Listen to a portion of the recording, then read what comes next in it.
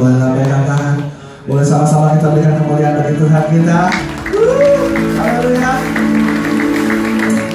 Siapa yang siap menabur, dia siap menuai pula. Amin. Bapak Ibu, kita bersuka cita pada pagi hari ini. Lebih lagi, dalam Tuhan.